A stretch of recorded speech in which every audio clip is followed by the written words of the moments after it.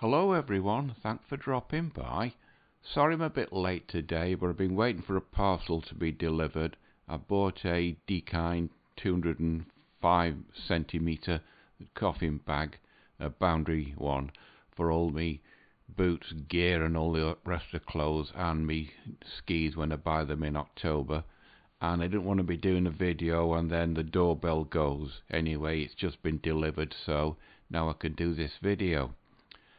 As you know, that's the Chevrolet Corvette, the latest and greatest one, and the, got the V8, the ubiquitous American V8 in the back. Would I buy one? I don't know. I've never even seen a Corvette. But surprisingly enough, I found out the Corvette line was launched in 1953. So that makes it more ingrained in American car culture than last week's Mustang was. Anyway, enough about that as you know, the one of the results of millions of guys going MGTOW or taking the red pill is they choose to live on their own, and that is not necessarily not necessarily restricted to America or Canada, but it also extends over here in Europe. Because looking around, I found this. As you can see, it's a site called Solo Living and as you can see the countries where solo households are commonplace. Now this was done on October 24th in 2022. The world champion house for pe people living alone, surprisingly enough, is over here in Europe in Norway. As you scroll down, there are nations on the there are nations where just under half of all households have a person living alone. The nation where people live alone, least live alone, is Afghanistan. No surprise there. But Norway is a world champion. If you were to randomly knock on doors nearly every second time, you'd be greeted by someone living alone. So if you scroll down, the nations with the highest percentage of one-person households, are over 40% of households live solo, are Norway, Denmark, Finland, Sweden, Germany, and Estonia.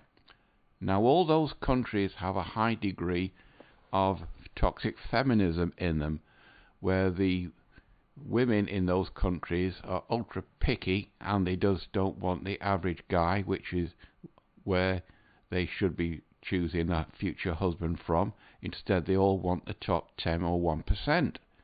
So you could give a guess that a lot of these countries have women living alone. Doesn't say how much the MGTOW philosophy has extended into those countries and how, what percentage of men are in that. But it gives you an idea that the living solo is becoming a worldwide thing, even though it's not extended to the third world as yet. And if you drop down, solo living in households in other countries. In the, here in Britain, America, Canada, and Australia, between one and four and one in three households are solo. There's the United States at 28%. There's 27.6 Canada, and but the bottom is South Korea. Well, South Korea has a lot of solo people because it's so expensive to get married in South Korea. That's why the births rate has gone down.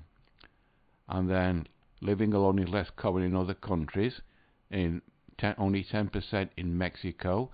Well, the Hispanics are very family orientated, also in China, and you could say the same for India. And then we go about psychological and economics of living alone, what matters. Now that's just the a overview of what what solo countries are commonplace. Going back to America, I found this. As you can see, it's United States Census, so it's a government site and government figures. More than a quarter of Americans only households have only one person, and a quarter, 27.6% of all U.S. occupied houses are one person in 2020, up from 7.7 in 1940. Well, in 1940, America was very family orientated, like in 1950. Then the second wave femini feminism kicked off in 1964, and that just set the ball rolling for more and more Americans to live on their own instead of getting married. And he said the share of people living alone increased every decade from 1940 to 2020. The largest increase happened from 1970 to 1980, when the share increased from 17.6% to 22.7%. Now, second wave feminism kicked off around 1964. So any girl who was, say, 10 years old in 1964, she'd be falling into her primary years in 1970 to 1980 when she'd been thoroughly indoctrinated with toxic feminism and I don't need no men. But anyway, it says countries, the counties, sorry, with the highest percentage of households in one person aged 65 or over living alone were concentrated in the central Midwest. Not being American, I wouldn't really know where that area was. And it says the overall share of people living alone inched up from 26.7% to 27.6% between 2010 and 2020. That could be the MGTOW effect. So did the share from 9.4 to 11.1 one-person households headed by adults aged 65 and over. Now there's a rise in the grey divorce rate in America, so that could be that. And then if you drop down one person household, the percentage of all US households, as you can see, 1940 to 2020. Second wave feminism kicked off here. Third wave feminism kicked off here. Fourth wave feminism kicked off here. As you can see, there's a quite a rise in ages. These ages 15 to 64 is that, 65 and older is that. That could be the subject of grey divorce. That's why it's gone up. And then if you drop down, you have the maps of America one person households all ages as a percentage of all households 2020. Now, those of you who are Americans over in America, you can have a look to see which area you live in and it gives you an idea of the percentage of single houses in your neck of the woods, so to speak. If you click on that, you get the bigger one and once again bigger. So if you you can go back. Come on. Come on. Thank you. And it goes one person households ages 15 to 64. So if you're in that age group of the percentage of all households, you can again. And if you drop down again, one person households age 65 and over. If you're over 65, it'll give you an idea the percentage in your part of of United States. And then older adults living alone more prevalent in rural counties. And Los Angeles County, California, the nation's most populous county with 3.4 million households. 16.1% of households there are headed by someone aged 16, 15 to 64 living alone. And then, but in Pulaski County in Kentucky, which has just 26,405 occupied households. About 14.8 house percent households had one person households aged 15 to 64 and 13.5% had households aged 65 and older living alone. That could be the result of the great divorce in Kentucky and most prominently Pulaski.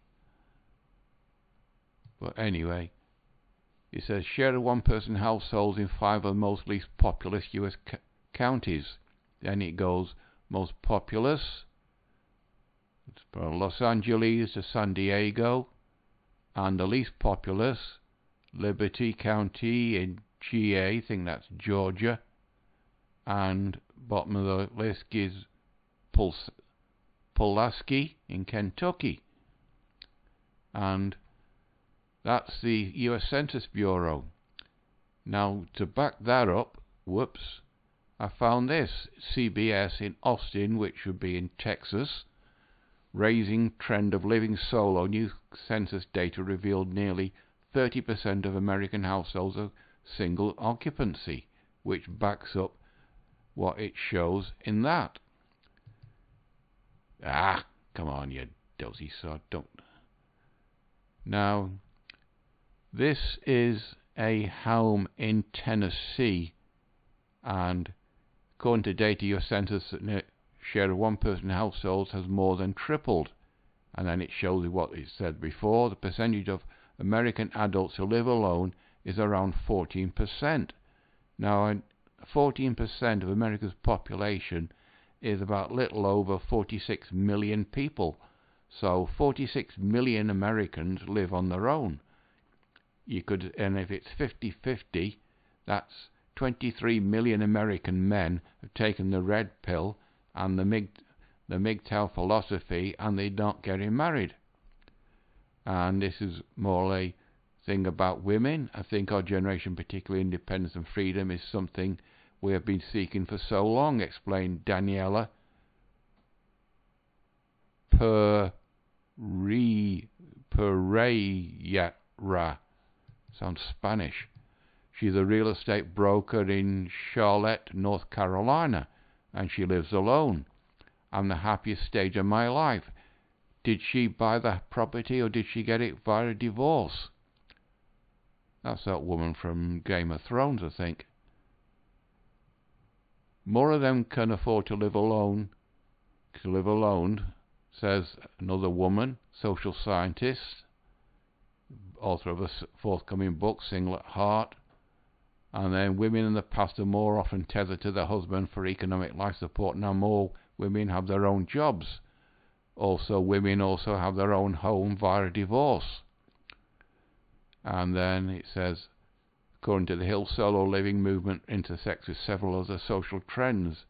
Americans are marrying later. If at all, the nation is aging, the national birth rate is falling, people are living longer, or they were until the pandemic arrived, which is the old whipping boy again. And then when you're living alone, everything is on your own shoulders, of course. And then, however, DePaulo said living alone does not mean you are cut off and it actually might lead to someone being more social. Well, I live on my own and I'm social via the internet and YouTube. But anyway, this is CBS in Austin reporting what the National Census Bureau in America has said. Over here it's the same in Britain as I found this. Number of people living alone here from 96 to 2023. Now, Dad rejoined Mum in the next world in 2017. So, 7,715,000 people here in Britain are living solo, and that includes me. And I've, I just see it going up. No indication about what the age group are, but it says as of 2023, approximately 8.38 million people lived alone here in Britain, an increase of 34,000. Now, could that be British guys taking the red pill? I just don't know. But the American government tends to be getting a little bit worried about the number of guys living on their own because I found this Wealth Enhancement Group. And it says, the cost of being single, why could it be financially devastating? And this is just a frightening piece to get people scared of living on their own, especially if they're a guy.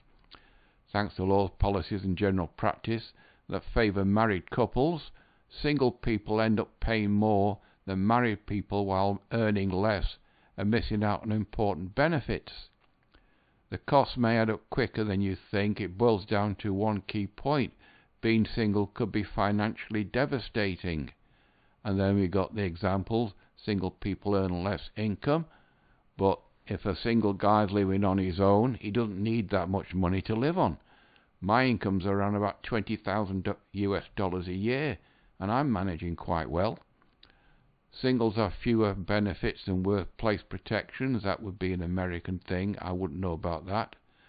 Do single people pay more in taxes? Then we have a graph, the 10,000 zero to eleven thousand dollars a year, tw- and 12% tax, 20, 22, and so on. The average wage in America is around about $58,000, which is this. So married family joint filling is 89. But if she divorces him and takes half his money, that's he leaves him with 45, so he's no better off than if he'd stayed single. Plus he's lost half his stuff, so he might as well not get married and keep all his stuff and the same salary that he'd be on than if he got divorced. And of course, even if you go at the top end, the 1 and 10% of American men, you're on 578,126 plus dollars per year, but you're only on 693,751 if you're married, and if she takes divorces you and takes half your stuff, you drop down to $300,000 plus per year. But if you stay single, you'd be 150 odd thousand, 200,000 dollars a year better off. And then you get social security benefits only if you get married. This is the carrot. The spousal benefits and survivor benefits. I don't know what that is, so I'm not going to comment. And how marriage enhances the benefits of IRS. Um, internal individual retirement accounts. I've no idea. Must be that full zero one k thing that Americans have. And spousal IRS IRAs bypass contribution limits on non-working spouses. IRA inheritance rules benefit spouses. That's another thing. If you get divorced, what happens to your inheritance and your will and that? Does she also have a, a say in what she gets? It all adds up to a big difference. And then examples. Now further frightening from the American establishment, I found this. This is CNN Health. U.S. adults living alone may face higher risk of cancer, studies suggest. Now this was done on October 19th, 23. As I said, that was done 20th of September 23. And it goes down. Adults living by themselves have a higher risk of dying from cancer compared to those who live with others. A new study suggests the share of adults in America who live alone is on the rise. And then it says the journal Cancer found 114,772 working age adults who lived alone. 2.5 of them died of cancer during the same period. In comparison, 358,876 adults who live with others, a much smaller share, 1.6, died of cancer. Now, is that a naturally occurring cancer through probably genetics, or did any of those people smoke and live an unhealthy lifestyle? remember, if a guy lives on his own, he tends to look after himself better, going to the gym and eating healthily, and not doing things like smoking or drinking too much, or eating food which could trigger off cancer. It says adults aged 18 to 64 were enrolled in the study, and researchers found the strongest associates were those ages 45 to 64. Also, I've I've heard and read that stress can bring on cancer. So if a guy get divorced, then that could trigger off a cancer. So that sort of could be a contribution, but that is a moot subject. We found that working adults living alone had 1.32 times higher risk of cancer than adults living with others. And then it goes, the proportion of people in America who live alone has climbed over decades. US Census Bureau, that's that. Data shows that proportion of one person households has doubled from 13% or 7 million to 29% or about 38 million households. and then more yada yada, frightening, don't live alone, get married, etc. Alone and lonely not the same, yada yada yada. And in addition to the more frightening, I found this a site called Make It by CNBC. Why is it so expensive to be single in America? This was done October 18th this year. Sorry, last year, 2023. And this was written by a woman. Uh, this was also was written by a woman. And was this written by a woman? Doesn't say. Anyway, it's a blog. It says, why is it so expensive to be single in America? Good chance in your area there are singles in your area. Nearly half of adults in America are currently single. And then it goes, cost of living alone, dollar for dollar, is cheaper to be in a one-person household. After all, one mouth to feed. But when you add it all up, maintaining a single-person household doesn't exactly doesn't cost exactly half of a two-person households. No, it can only cost about a third. That if you wanted to, you could live fr- quite frugally. I don't spend much. My biggest outlay is just the weekly shop. Apart from the rent, of course, and the uh, water bill, but that's the thing you've got to pay. But buying food, I can get by on 40 to 50 pound per week. That's why it's called a singles tax, it says. In South Carolina, it falls around the middle of the, all states in terms of cost of living, according to Missouri Economic Research and Information Center. A two single person household spends $29,880 a year. A two person household, 47,483 per year. But what happens when she becomes pregnant?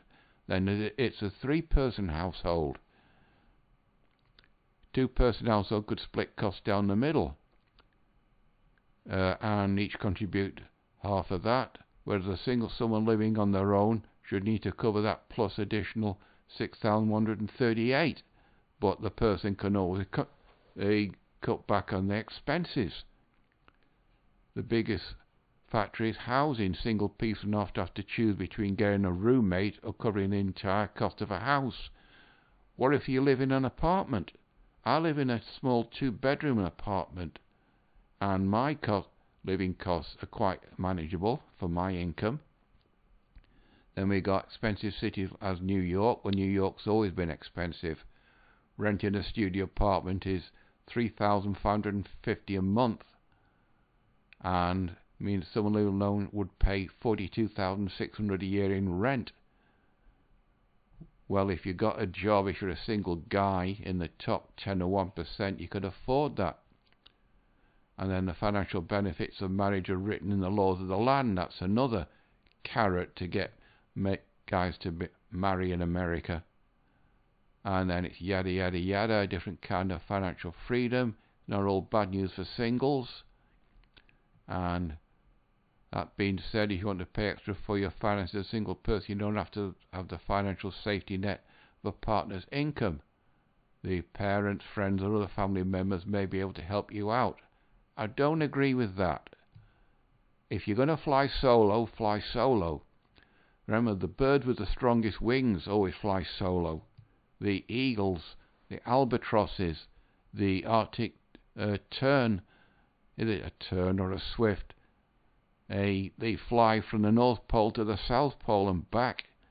And the swallows here in Britain fly to Africa to nest and then they come back. And swallows always fly solo and then it's more important for you to budget naturally understand how much money you're making how much money you're spending. I have a spreadsheet with all my expenditures and income and every year I just tot everything up and I find out where I can cut back on things. And then yada yada yada. In addition to that I found this. Go banking rate three re reasons it's so expensive to be single in America and this was done on November 6, uh, 2023. Being single has been a steady growing trend since the 60s, saying what the other, articles have said. The cost of housing, shouldering more tax liability and base expenses are all on you if you're single. No shit, Sherlock. We all know that. CNBC reporting nearly half of US adults are currently single. 46% of the population consists of 117.6 million unmarried, divorced, or widows Americans older than 18. And then it goes the cost of being single, housing, taxes, no financial safety net, that's the living with another person. But if she loses a job, then there's just one financial net, and then ways to make single life more affordable, and then it's just ways to get extra money. Aggressive, aggressively budget, that's just living within your means. Budgeting is key not to only organise your funds each month, but to ensure that you have the funds you need to cover all your necessary expenses. Stay out of debt, naturally and hopefully have some money, save some money each month. Also have a reserve account. I've got a reserve account. I got that information off mum and dad. And being single is getting more expensive these days, and the benefits of marriages and partnerships continue to outweigh the financial benefits of being single. Again, that's the carrot for all these guys in America that have taken the red pill and gone the MGTOW way. And that is that article to more frightening. Now it's not all bad. I found this Intuit TurboTax. Five reasons it's great to be single at tax time. The American taxation system is different from here in Britain. So, being single brings several big upsides like having the freedom to spend your time and money on yourself, etc. Yada yada yada. What does it mean to file as a single? People who are married, individuals divorced. We know that. How do you know if you pay taxes? Tax file status. And then single file under 65. Generally, you need to file federal income taxes if your gross income is 13,850 a year or more for tax. We don't do that over here in Britain. It's a totally different system. Now, if you're American and you're single, what are the advantages of filing for as singles?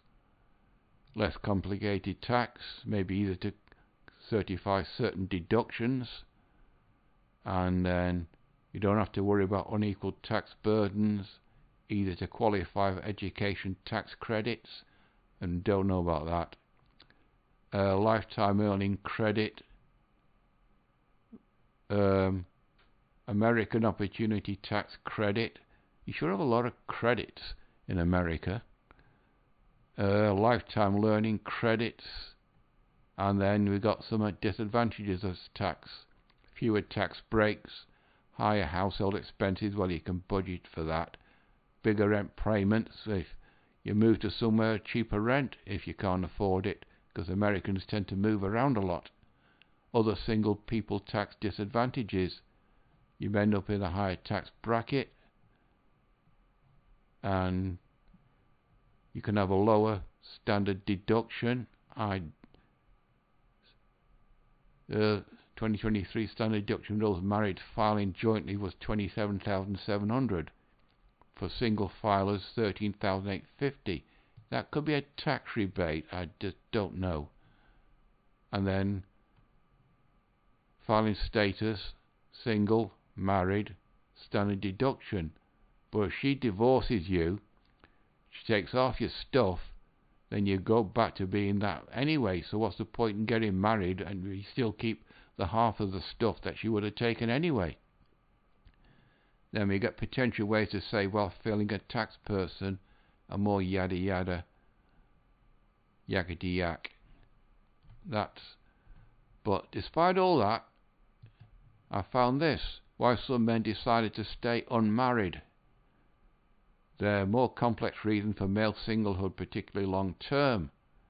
Toxic feminism, for one. Some unmarried men feel deficient while others adapt and acclimate to singlehood. That could be the man child poke while others adapt. to singlehood. Guys are adaptable, women are generally not.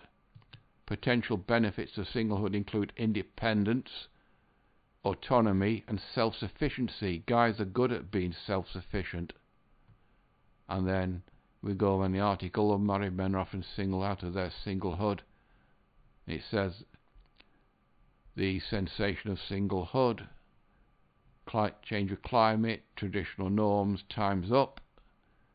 Nothing about MGTOW or femininity, not femininity, feminism. The Bachelor Benefits and Burdens, a book. I might have covered this article before, I can't remember. And Single Solutions. And finally, I found this, Marriage.com, written by another woman. This was written by a woman.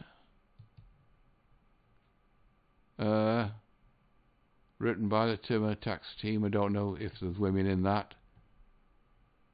This was written by a guy. And this was written by a woman, as I mentioned. Why are men not marrying as much despite all this fear of how much it costs to be single and the rising um, singles in America. Why men are not marrying as much anymore. Five possible reasons. And just click on that. Five reasons men are not marrying. Perception of loss of freedom. You got that one right. The dread of losing one's ability to make to freely make decisions of all aspects of their life can be why some men never marry. Also, because they have fears of potential divorce. I should imagine that this is the primary reason. Single men who avoid marriage may have grown up in a broken home. No, they've seen what women are like. They think history might repeat itself. The problem with this mindset is that all love stories are different. No. If a man you are interested in has been scar scarred by divorce, ask him about his fears and discuss how things might play out differently. See, it's aimed at a woman to ask a man about this. Unwilling to make sacrifices. This is a shaming art reason. Dating apps work out great. I've uh, covered last week the dating app companies are going slowly bankrupt. Need for awareness about the benefits of marriage. This is the carrot again. And then more yada yada. And then FAQs, what percentage of men never married? 23% of American men have never been married. The average age, 28 to 32, that's his prime years when he should be making bank and not getting into a relationship. The most common reason for divorce, infidelity, communication breakdown, but infidelity by the guy or by the woman. Financial issues are always money, divergent priorities, lack of compatibility among the most common reasons. Financial implications of marriage, he loses half his stuff. Marriage is bad for men or women who have not secured themselves finances and are wholly unprepared for the financial financial responsibilities of running a household. And then a final takeaway it says marriage can benefit men significantly by offering ways to improve their mental and physical health. And of course, it covers sex. Where is it? Did uh, whoops, whoops, whoops, sex. Uh, endless supply of sexual satisfaction. Dating app for a man who is no interested in commitment for non-committed men who in imprisonment, men are not marrying for these situations because they feel that their emotional, sexual, social and romantic needs have been met.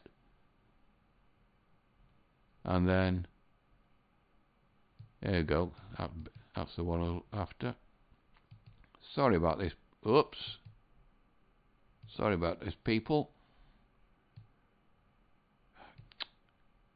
Ah, I hate it when that thing does happen. Married men have a better sex life contrary to what you think if you listen to single guys boast about their sex life. Any sensible guy does not mention their sex life to other guys.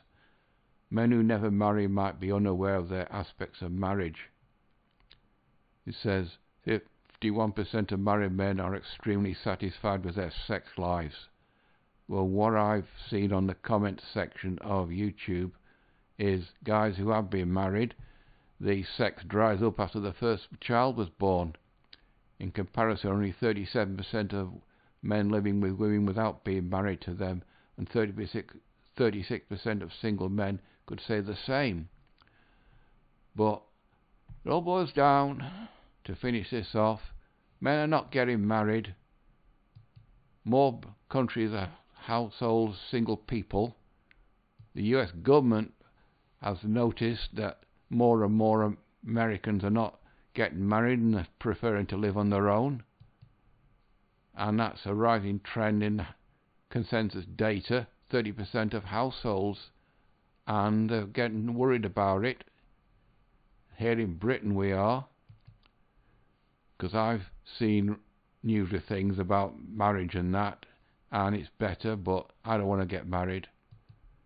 But the cost of being single could be financially devastating. This, this, and this, and this are all frighteners to frighten men to get married to get the population going back because the US government is noticing how MGTOW is affecting the entire US economy by guys not wanting to get hitched to a woman and start buying all the things to buy a house which bolts up the consumer driven society that America is in.